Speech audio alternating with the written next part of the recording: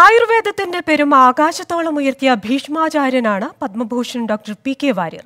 ആയിരത്തി തൊള്ളായിരത്തി നാൽപ്പത്തിയേഴിലാണ് ആര്യവൈദ്യശാല ഫാക്ടറി മാനേജരായി പി കെ വാര്യർ ഔദ്യോഗിക ജീവിതം ആരംഭിച്ചത്. സംഭവ ബഹുലമായ ആ ജീവിതത്തിലേക്ക്.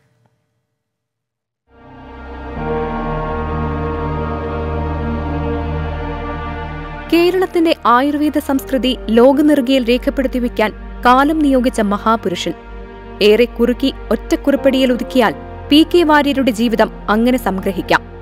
ആയുസിന്റെ നൂറു വർഷങ്ങൾക്കിടയിൽ കടന്നുപോകാത്ത വഴികളില്ല. യൗവനത്തിൽ പഠനമുപേക്ഷിച്ച വിപ്ലവകാരിയായി സജീവ രാഷ്ട്രീയമല്ല തന്റെ ജീവിത വഴിയെന്ന് തിരിച്ചറിഞ്ഞ ഘട്ടത്തിൽ അമ്മാവന്റെ വഴിയിലേക്ക് തിരിച്ചെത്തി. വൈദ്യപഠനം പുനരാരംഭിച്ചു. പഠനം പൂർത്തിയാക്കും മുൻപ് ഇരുപത്തിനാലാം വയസ്സിൽ കോട്ടയ്ക്കൽ ആര്യവൈദ്യശാലയുടെ ട്രസ്റ്റി ബോർഡിൽ അംഗമായി. പിന്നീട് അതിനെ ചരിത്ര നീട്ടങ്ങളിലേക്ക് നയിച്ച അമരക്കാരനായി. ലോകം വിശ്വസിക്കുന്ന മഹാവൈദ്യനായി.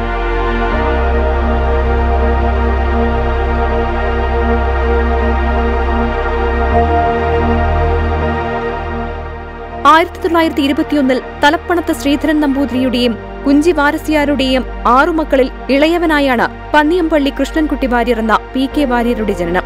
ജ്യേഷ്ഠൻ പി എം വാര്യർ വിമാനാപകടത്തിൽ മരിച്ചതിനെ തുടർന്ന് ആയിരത്തി തൊള്ളായിരത്തി അമ്പത്തിമൂന്നിലാണ് കോട്ടയ്ക്കൽ ആര്യവൈദ്യശാലയുടെ നേതൃത്വം ഏറ്റെടുത്തത്. അന്ന് ഒമ്പത് ലക്ഷം മാത്രമായിരുന്ന ആര്യവൈദ്യശാലയുടെ വാർഷിക വരുമാനം നാനൂറ് കോടിയിലേക്ക് ഉയർത്തി. രാജ്യത്തെ പ്രധാന നഗരങ്ങളിലെല്ലാം ശാഖകളുള്ള പ്രതിവർഷം അഞ്ചു ലക്ഷത്തിലധികം രോഗികൾക്ക് സൗഖ്യമേകുന്ന ആതുര സേവനമായി കോട്ടയ്ക്കൽ ആര്യവൈദ്യശാലയെ ഉയർത്തി. രാജ്യസംസ്കൃതിയെ ആഗോളവൽക്കരിച്ച മഹാപ്രതിഭയ്ക്ക് രാജ്യം ആയിരത്തി തൊള്ളായിരത്തി തൊണ്ണൂറ്റിയൊമ്പതിൽ പത്മശ്രീയും രണ്ടായിരത്തി പത്തിൽ പത്മഭൂഷണം നൽകി ആദരിച്ചു. ആയിരത്തി തൊള്ളായിരത്തി തൊണ്ണൂറ്റിയേഴിൽ ഓൾ ഇന്ത്യ ആയുർവേദിക് കോൺഫറൻസിലെ ആയുർവേദ മഹർഷി സ്ഥാനം ധന്വന്തരി പുരസ്കാരം സംസ്ഥാന സർക്കാരിന്റെ അഷ്ടാംഗരത്ന പുരസ്കാരം എന്നിങ്ങനെ ബഹുമതികളുടെ നീണ്ട നിര നിഷ്ഠ വിടാതെ ആ ജീവിതത്തിന് ആദരമായി. സ്മൃതിപർവം എന്ന പേരിൽ രചിച്ച ആത്മകഥ സംസ്ഥാന സാഹിത്യ അക്കാദമി അവാർഡിനും അർഹമായി. ജൂൺ എട്ടിന് അഥവാ ഇടവമാസത്തിലെ കാർത്തിക നക്ഷത്രത്തിലാണ് നൂറാം പിറന്നാൾ ആഘോഷിച്ചത്. മനുഷ്യത്വത്തെ വൈദ്യശാസ്ത്രത്തിൽ ലയിപ്പിച്ച മഹത്വത്തിന് ട്വന്റി ഫോറിന്റെ പ്രണാമം. Research desk twenty